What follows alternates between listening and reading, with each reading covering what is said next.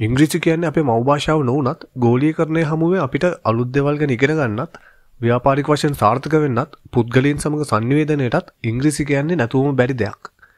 ඉතින් ඔයත් මමත් උපදින ශ්‍රී ලාංකික නිසා ඉංග්‍රීසි කියන්නේ අපිට දෙවෙනි භාෂාවක්.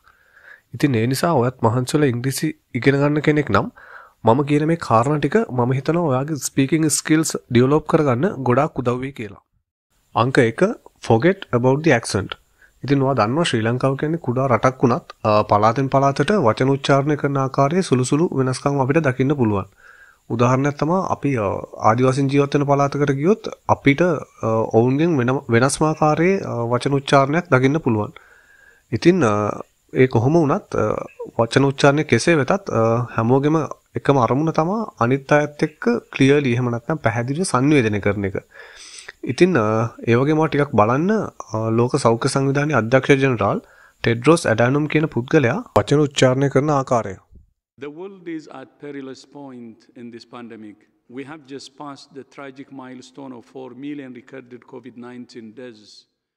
ඉතින් ඔහු මුළු ලෝකයත් සමගම ඉංග්‍රීසි වලින් කමියුනිකේට් කරන පුද්ගලයෙක් වුණත් ඔහු කතා කරන විලාසයෙන් අපිට පේනවා ඔහු ඔහුගේ ඇක්සන්ට් එක ගැන හිතන්නේ ඔහු ફોකස් කරන්නේ ඔහු කියන දේ පැහැදිලිව අනිත් පුද්ගලයාට sannivedanaya කරන එක.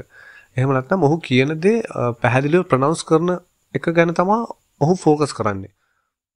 ඉතින් ඔයාගෙත් මගේ තරමුණ ඉංග්‍රීසි හොඳින් කතා කිරීමට ඉගෙන ගැනීම නිසා ඇක්සන්ට් එක ගැන හිතනවට වඩා ක්ලියර් ප්‍රොනන්සියේෂන් ගැන අවධානය යොමු කරන එක ගොඩාක් වැදගත් කියලා මම හිතනවා.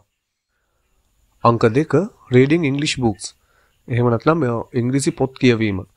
ඉතින් ඉංග්‍රීසි ස්පීකින් වලට වැදගත් වෙන තවත් කාරණයක් තමයි ඉංග්‍රීසි පොත් කියවන එක. ඒ වගේම පොතක් තෝරගද්දී සරල නවකතාවක් වගේ පොතක් තෝරගන්න පුළුවන් නම් ගොඩක් හොඳයි. මොකද අපි අලුත් ලැන්ග්වේජ් එකක් ඉගෙන ගද්දී සරල විදිහට පටන් ගන්න ටිකෙන් ටික සංකීර්ණ මට්ටමට යන එක තමයි ගොඩක්ම හොඳ.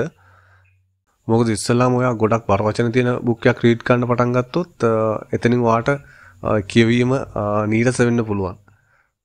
ඉතින් ඒ විදිහට පොතක් තෝරගෙන දවසට වට විනාඩි 20ක් වගේ කාලයක් ශබ්ද නගලා කියවන්න පුළුවන් නම් ඒකෙන් ඔයාගේ වචන උච්චාරණය වගේම ඔයාට ප්‍රොනවුන්ස් කරන්න අමාරු වචනත් ඔයාට හඳුනා පුළුවන්.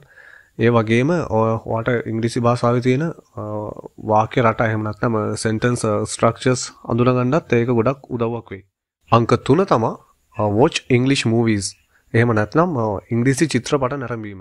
ඉතින් ඔයාත් ඉංග්‍රීසි movies බලන්නේ සිංහල සබ්ටයිටල් එක්ක නම් ඒ පුරුද්ද අද ඉඳන් අතර කරගන්න. අද ඉඳන් ඔයා ඉංග්‍රීසි මූවිස් ඉංග්‍රීසි සබ්ටයිටල් එක්කම බලන්න. ඉතින් ඒ වගේම ඔයා දිගටම සබ්ටයිටල් එක්ක මූවිස් බලන්න එපා. ටිකෙන් ටික වචන වගේ කනට හුරු වෙනකල් සබ්ටයිටල් යූස් කරලා ටිකෙන් ටික සබ්ටයිටල් නවත්තලා හොඳ අවධානයකින් වචන වලට සවන් දෙන්න. එතකොට ඔයාලට තේරෙයි ටිකෙන් ටික ඔයාගේ ඉංග්‍රීසි ලිසනින් සහ අන්ඩර්ස්ටෑන්ඩින් කියන හැකියාවන් එහෙම නැත්නම් ඇහුම්කන් දීමේ සහ තේරුම් ගැනීමේ හැකියාවන් වර්ධනය වීමක් සිදු වෙනවා කියලා.